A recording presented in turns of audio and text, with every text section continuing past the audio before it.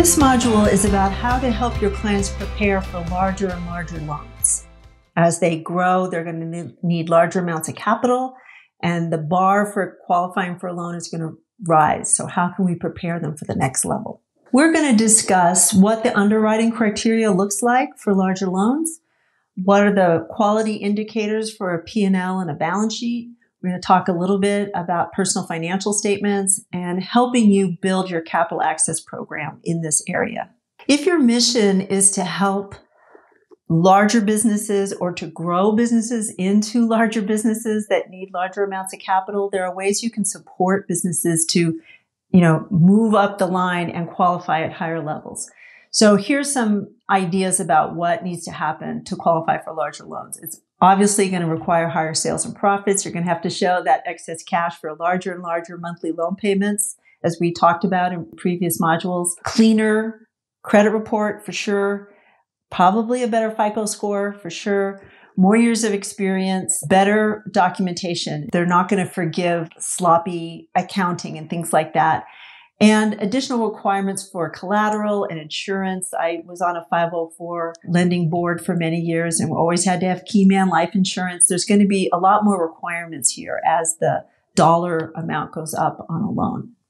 So let's look at what this means in terms of our, you know, five C's of credit. This cash capacity at 1.25 or higher on the debt service coverage that shows on the P&Ls. They might use some balance sheet analysis as well and looking back again, two or three years to see what the capacity has been of the business in the past.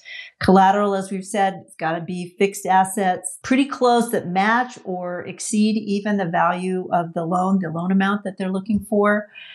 Credit has got to be clean. We can't have, you know, bankruptcy, slow pays, collections and need a FICO score easily of 680 or higher and conditions a stable industry, significant industry experience, and long term banking relationships. So let's talk a little bit about a profit and loss statement. It is a financial statement that summarizes revenue, costs, and expenses incurred during a fiscal year lenders might do a three-year trend analysis on P&Ls.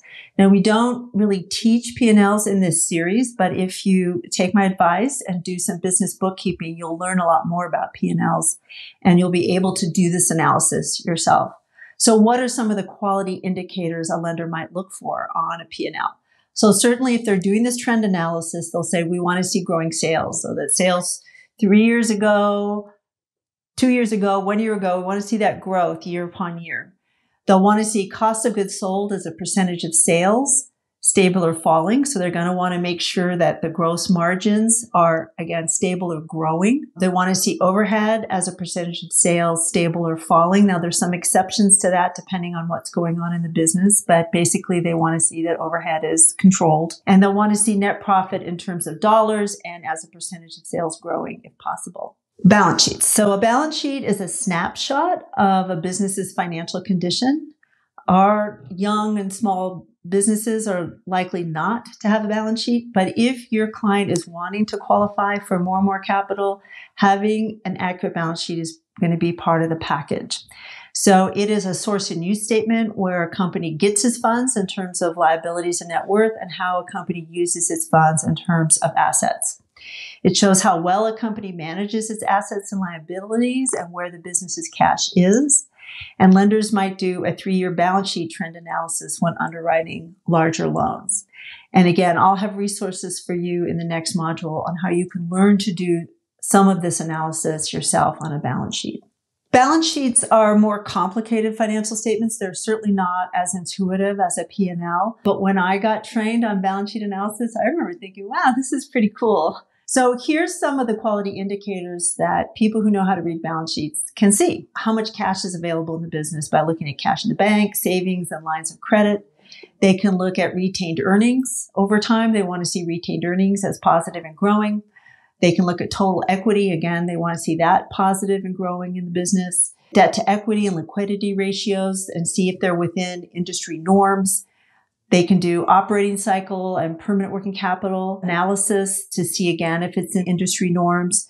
They can look at days receivable, inventory payables and accruals and do a whole analysis on that. And again, as I said, look at permanent working capitals. But as I said, these are hard documents to create and have accurate because there's a lot of accounts over there that a lot of small businesses don't track well. So again, your first job is to learn about this. And then your next job is to start figuring out how to create services that can help your clients start stepping into this balance sheet world. So personal financial statement is required for larger loans and it's like a personal balance sheet and it includes basic information about, you know, name, address, spouses and so on.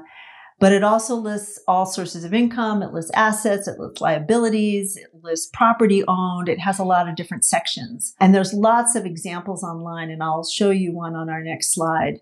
I know there's one that the SBA has that they use for their loan programs. Most clients need help filling these out. Again, balance sheets are hard and a personal financial statement is basically a balance sheet. Again, most clients are going to need your help with this regardless. So let's get started and just look at SCORE's example which is available for download as part of this series.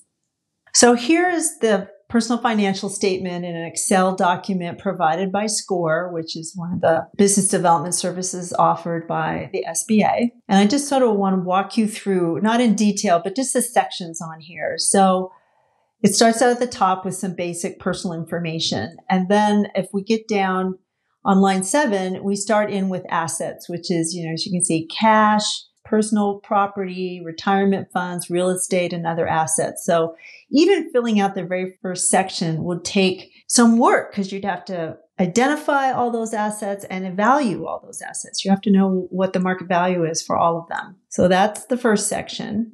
The next section is liabilities where all current debt, loan payments, tax returns payable, and other types of liability are listed.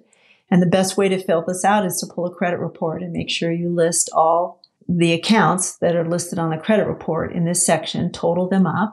Then we go into some detail. So the top part is a summary of assets and liabilities. And then the bottom section here is details of it. So you can see that there's a lot of lines here, line on line 45 now. Notes and contracts held, name of securities. It, this gets pretty complicated. Stocks privately held in companies, real estate. So a lot of details there about the value and outstanding balance on all your assets. I mean, it makes my head swim a little bit to fill this all out. This would be a big homework job for a lot of us, right? To fill this all out.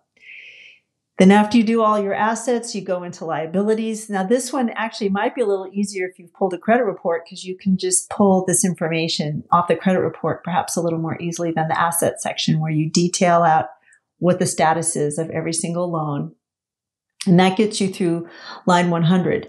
Now, some personal financial statements have other sections like you have to list all your sources of income and there, there can be additional sections to this. So this is actually somewhat simplified. But this could be a starting place, or you can, again, take this form and simplify it. You can look at the SBA personal financial statement and start making some decisions with yourselves amongst your staff. Like, how are we going to get our clients to step into this? And what kinds of support do we need to get them to fill out this very detailed document?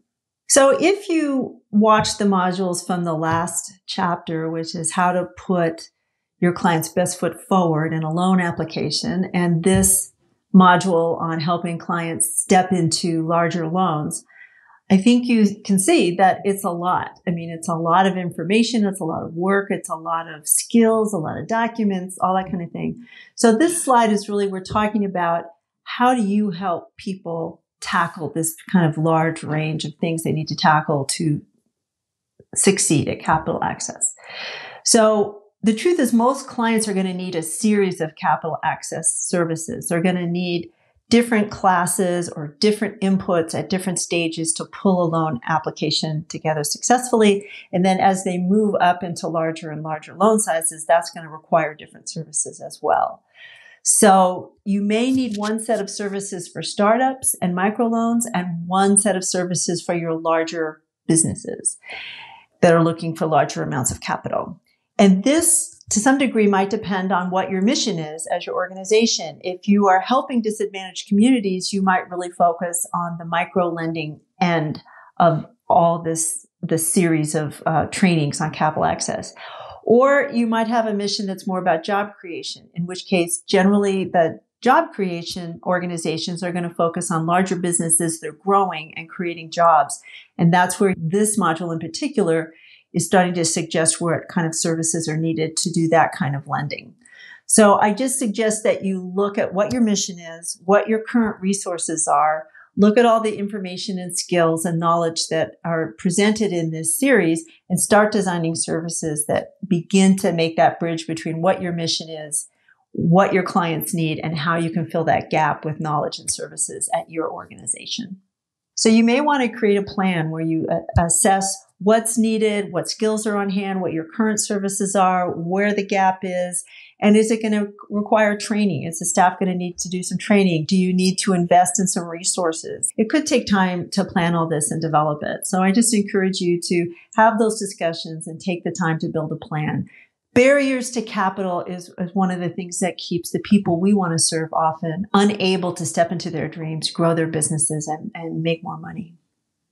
Our last module of the series is for you, either if you're a lender or a business development organization, and it's resources for you to develop your skills and build your services in this area.